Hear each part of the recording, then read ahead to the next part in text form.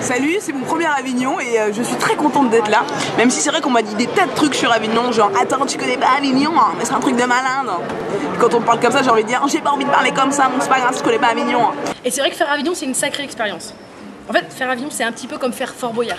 hein. tu cours partout, il y a plein d'épreuves et surtout, il y a des bêtes sauvages. Si, il y a des bêtes sauvages. Je me suis réveillée il y a trois jours, il y avait un scorpion dans ma chambre. Un scorpion, genre un vrai scorpion, dans ma chambre, en France, à Avignon. Moi, je croyais que les scorpions, ça n'existait pas en France. À part en groupe de musique, peut-être. Là, là, si, je savais que ça existait. Et Shirley, elle a fait Fort Boyard la semaine dernière. Elle a passé son temps dans la prison, en fait. Du coup, moi, ça m'intéresse de savoir si elle va réussir Avignon comme elle a réussi son premier Fort Boyard. J'ai loupé Fort Boyard, mais je ne pas Avignon. Je vais tout faire ici, toutes les épreuves. J'ai dit au revoir à mes parents, j'ai dit je sais pas si je reviendrai. Alors, du coup, je lui ai donné trois défis à relever. Premier défi, embrasser un garçon.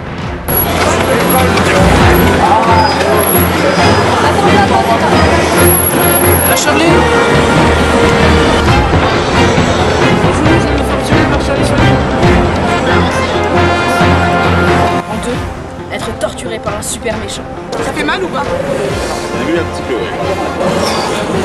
Je vais me faire tatouer. Aïe, aïe, aïe, Ça pique aïe, aïe, aïe, aïe.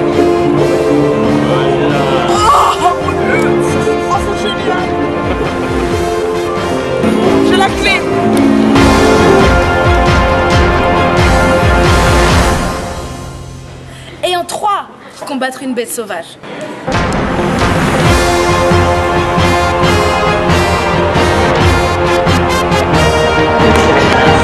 C'est bon J'ai tué un ours On y va Bravo Charlotte, tu viens de réunir trois clés. Et en fait, ça, c'est les clés du succès. Alors, t'es t'es rassurée Tu sens que ça va bien se passer ou pas alors ton Avignon? Finalement, Avignon, c'est beaucoup plus dur que Fort Boyard. J'abandonne. Je vais aller en prison.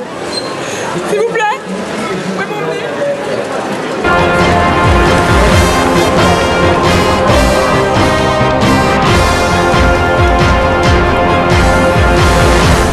Non mais Avignon c'est super, hein. c'est vraiment euh, les épreuves tout le temps, ça s'arrête jamais. Les gens dans la rue, les spectateurs, les artistes. Euh, L'émotion, les rires, une aventure humaine avant tout, une équipe. Et on travaille tous pour une asso, la nôtre.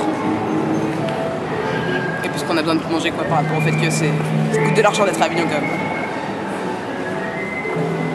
Bon bah aller chercher les boyards.